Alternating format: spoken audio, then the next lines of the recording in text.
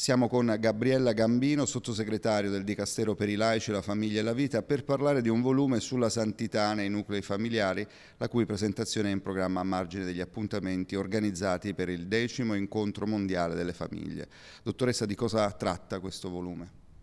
Ma il testo che è intitolato La santità nelle famiglie del mondo e che è edito dalla LEV, è stato pubblicato pochi giorni fa, è un testo in cui abbiamo scelto di raccogliere le biografie di otto coppie di sposi per le quali è stato avviato un processo di beatificazione o di canonizzazione nella Chiesa, otto coppie che hanno irraggiato la loro santità all'interno della loro famiglia e nella comunità e nel, nel territorio in cui vivevano e che davvero abbiamo pensato potessero essere una ispirazione per eh, le nostre famiglie, per, eh, perché erano famiglie normali, no? come le nostre, otto coppie di sposi che in ogni parte del mondo, alcune sono italiane, due spagnole, una coppia dall'Africa, una coppia dal Giappone addirittura, e sono coppie come noi che hanno vissuto una quotidianità normale, eh, sposi che si sono innamorati, che si sono sposati, hanno avuto figli,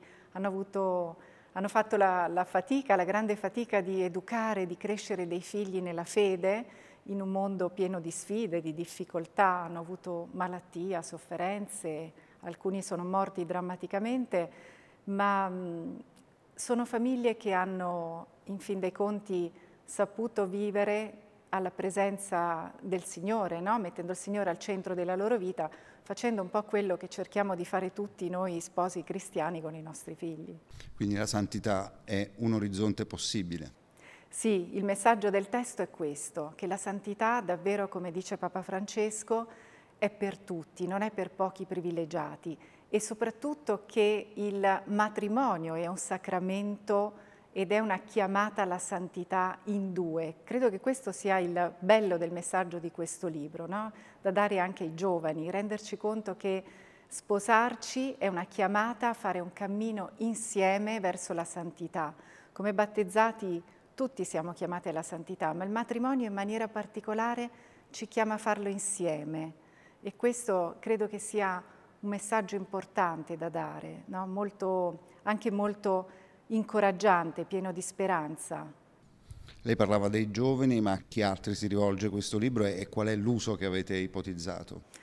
Credo che si rivolga a chiunque desideri un po' capire il mistero e la bellezza del matrimonio e quindi mh, anche ai consacrati, ai religiosi, ai sacerdoti, ma anche agli sposi e alle famiglie che desiderano metterselo sul comodino e leggerlo un po' la sera davvero mh, è un testo che ispira tanta meditazione, tanto che quando lo abbiamo elaborato a un certo punto ci siamo resi conto che poteva essere utile mettere alla fine di ogni storia degli spunti di riflessione personale e familiare, perché davvero è un testo che suscita tante domande e tanto desiderio di capire davvero come si può vivere in maniera semplice la santità quotidiana. Senta, come sostenere e incoraggiare in concreto le famiglie in questo particolare momento storico? Ma non c'è una ricetta, ma credo che ehm, un po' anche lo scopo di questi strumenti sia quello di far sentire alle famiglie che non sono sole. No? Noi famiglie abbiamo bisogno di sentirci parte di una comunità, cioè abbiamo bisogno di condividere, di sentirci dentro delle comunità. No? Quindi credo che eh, questi strumenti siano anche delle modalità semplici per dire a ciascuno di noi non sei solo, guarda che la fatica che fai o la tua vita è anche la mia vita e quindi poterla condividere, poterci sentire parte di una famiglia di famiglie, come dice Papa Francesco, oggi è importante, soprattutto all'interno delle parrocchie. Qual è il consiglio in particolare ai giovani? Un consiglio non saprei, un messaggio forse potrebbe essere che davvero sposarsi è una via piena di sfide ma anche di bellezza.